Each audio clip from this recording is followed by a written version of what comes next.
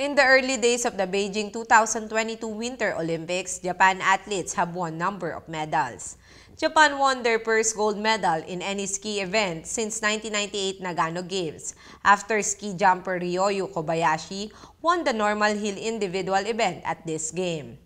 In the men's moguls event in freestyle skiing, Ikuma Horishima grabbed a bronze medal. He underwent training for figure skating and snowboarding and continued to polish his technique after finishing 11th at the 2018 Pyeongchang Games.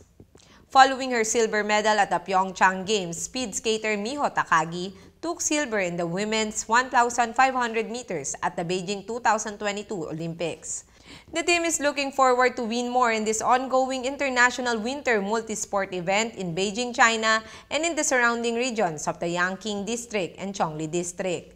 I am Lovely Montoya of Manila STV.